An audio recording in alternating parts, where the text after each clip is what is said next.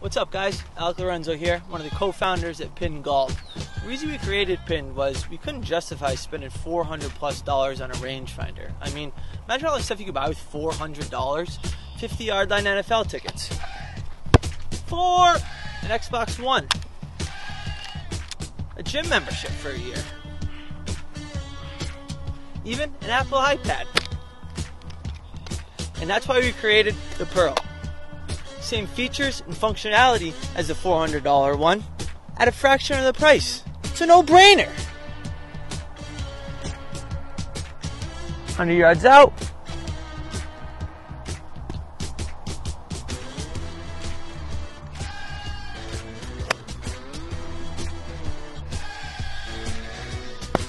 So come and get yours today.